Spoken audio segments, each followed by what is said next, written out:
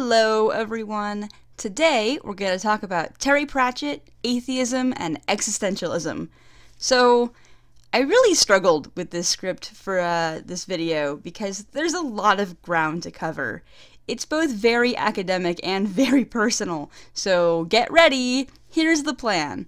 First, we'll talk briefly about who Pratchett was, then we'll go into existentialism, and then we'll see how Pratchett used his books to explore existentialism in a surprisingly positive way.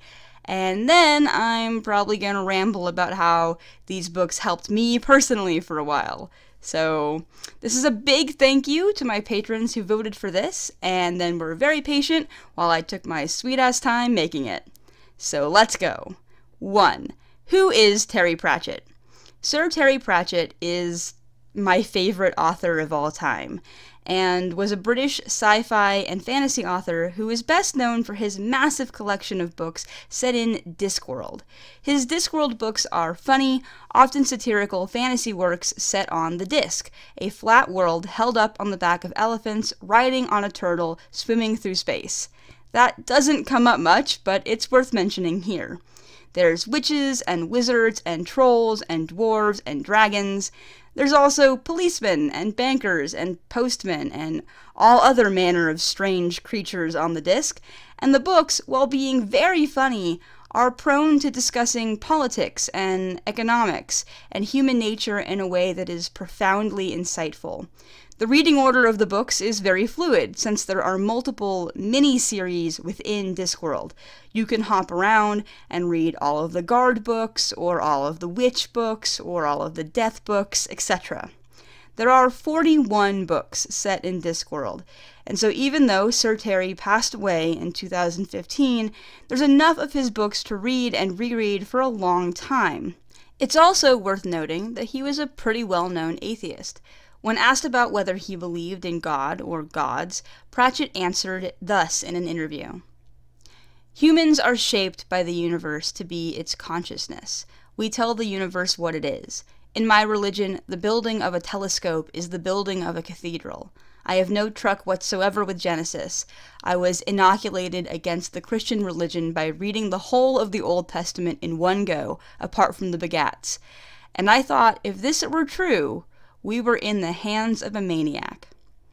Now, in 2008, right after he was diagnosed with Alzheimer's, some stories went around about Pratchett finding God, which, if you actually look at what he said, is quite a reach. He talked about how he felt there might be some structure in the universe, something that could fill a hole, but also clarified that I'm certainly not a man of faith, and that the possibility of there being structure in the universe only makes sense, quote, once you have got past all the gods that we have created with big beards and many human traits, end quote. So to say that he found God is an exaggeration. But it's worth saying here that his views on religion and faith and God were both nuanced and shifted here and there as he dealt with his disease. Despite this, though, Terry Pratchett's Discworld is not an atheistic universe. There are gods in Discworld, which we'll talk more about later. Discworld is, also, notably, a very existential world. Which brings me to what is existentialism? Full disclosure, this will be baby's first existentialism and will not cover every and all nuances possible, but I'll do my best to present a simple, accurate, and usable definition. So, very simply, existentialism is a philosophical outlook that rejects the idea of a divine or inherent value in the universe. If you look at philosophy and religion prior to like the 19th century, the vast majority begin with the assumption that there is some innate, immutable value system in the universe, that a god or gods created the universe with a plan in mind, that there are morally correct and incorrect ways of behaving that are universally true, that people have an inherent purpose or value or karma that they should strive to meet. There is this idea that all people have some sort of essence, labels, roles, definitions, or other preconceived categories that should define how they conduct themselves, whether this is a caste system or a list of commandments. That destiny, fate, etc., are real things that make up who we are. Existentialism looks at all that and says, no, this is garbage. There is no plan. There is no inherent value. Things just exist because they exist. The universe is absurd, not funny, but meaningless. The illusion of meaning is created by people to guide them and to avoid the dread and terror that true freedom within the absurd can create. So simply, Nothing actually means anything. All meaning is created by humans, and people should try to embrace the freedom and authenticity, or else risk being blinded by inauthentic forms of meaning or fall into existential despair. This last bit is somewhat debated by existentialist philosophers, as are most things in philosophy, but in general, existentialism isn't like super against creating authentic meaning for yourself. Now, existentialism is closely related to nihilism, and they are easy to confuse for one another.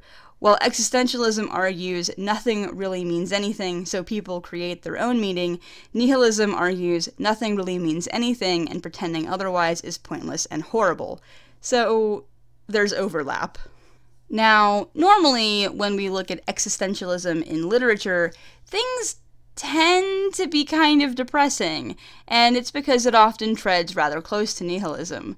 If you've ever studied existentialism within an academic context, especially within the English department of a large public university in central Texas in the early 2010s, you've probably read Camus. Like me. I had to read Camus in college. Camus was a French author and philosopher, and his books tend to be the go to example for existential fiction.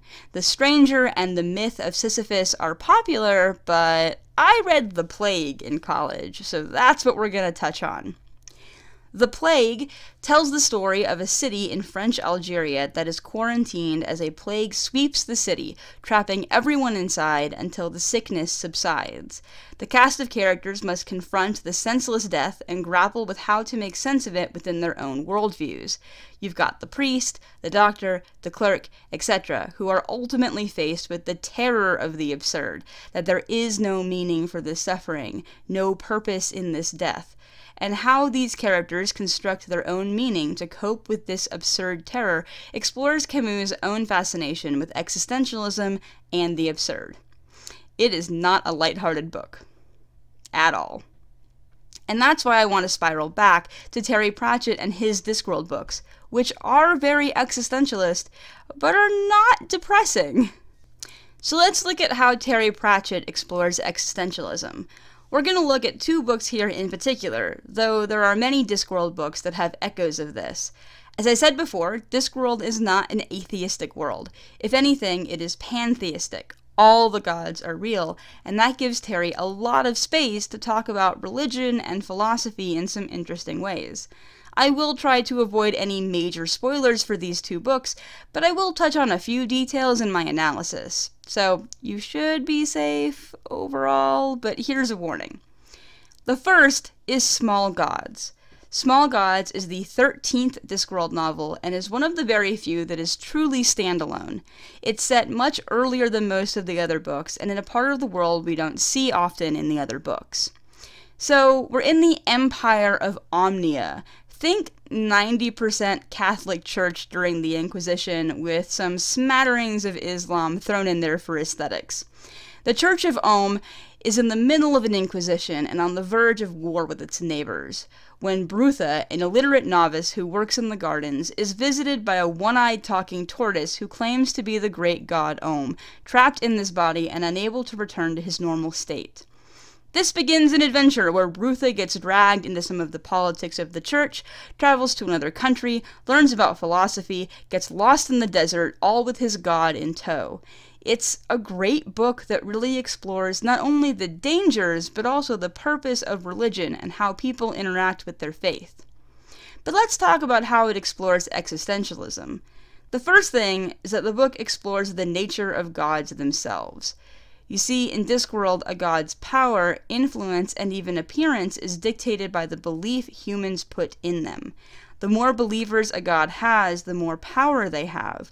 Om has been trapped as a tortoise because he discovers that in all of Omnia, only Brutha truly believes in him. Everyone else goes through the motions, sings the songs, follows the commandments, uses the structure of religion to give them meaning, but have no true faith.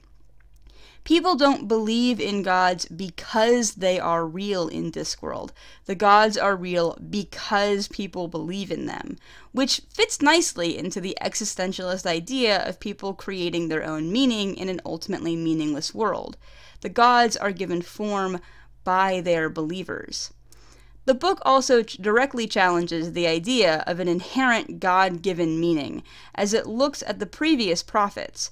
Brutha discovers that the previous prophets of Om, who went into the desert and returned with commandments, didn't speak to Om. Om tells him that he doesn't even remember them. These prophets created their own meaning, their commandments for how to live, and set them down as religious laws, created by people, not ordained by God. Which, you know, is a pretty harsh realization for the last true believer to deal with. I don't want to get too spoilery here with the book, because I think you should read it if you haven't yet. Uh, but ultimately, the book isn't a condemnation of religion as a whole. It does explore how religion can be used to harm people, but argues for reform, not destruction. It portrays religion as a useful framework for creating meaning, even if we recognize that this meaning is not an inherent divine truth. Also, it has a whole plot point about the disc having round earthers who are science deniers because the disc really is flat. It, it's, it's funny. It's a good book. So that's Pratchett using existentialism to look at religion specifically and explore how religion gives people a framework of meaning for better or worse. The second book we're going to talk about takes a broader view The Hogfather. Hogfather is the 20th Discworld book and the fourth in the Death books. It's the best, weirdest, almost Christmas book you'll ever read. And I do recommend putting the film adaptation on your list of kinda weird movies to watch at Christmas. The basic plot is that, for reasons, an assassin has been hired to end the Hogfather, who is, you know, Discworld Santa. Death, like yeah, Death, decides to dress up and fill in for the Hogfather to keep belief in him alive, while his adopted granddaughter Susan finds a way to stop the assassin and save the day. It begins on a fairly existential note, with the narrator musing on the nature of beginnings, why things happen the way they happen. And then it says The philosopher Didactylus has suggested an alternative hypothesis. Things just happen. What the hell? Which, you want to talk about an easy definition of existentialism. Things just happen. What the hell? The book has some very similar ideas as Small Gods in that it talks about how magical beings, like the Hogfather, Tooth Fairies, monsters under the bed, and the Soul Cake Duck, exist because of people's belief in them.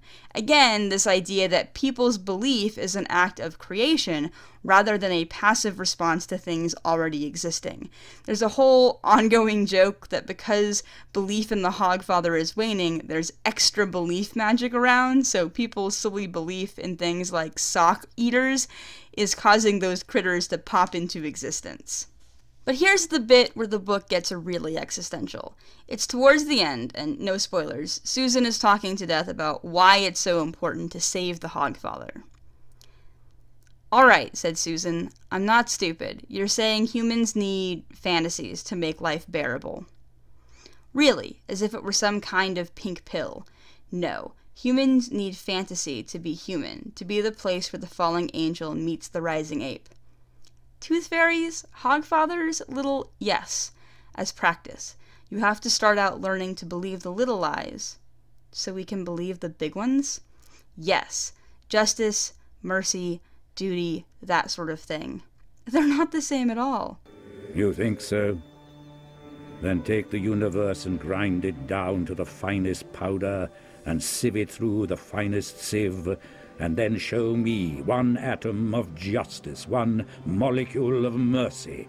And yet, you try to act as if there is some ideal order in the world. You need to believe in things that aren't true. How else can they become? So, this passage gets right to the heart of existentialism. It argues that our most basic values, justice, mercy, duty, that these things are not fundamental truths in the universe, that there is no ideal order, but instead that these things are illusions constructed by people's belief in them, that they are essentially lies to give people direction in an absurd universe. And yet, this is not a depressing book. It's one of the most hopeful and uplifting books I know. Because Death's argument is that by believing in these values, these values become real. Just like the Hogfather, just like the Tooth Fairies, just like the Sock Eater, our act of creating meaning makes the meaning real. And here's where I talk about my personal feelings and my journey with atheism for a while.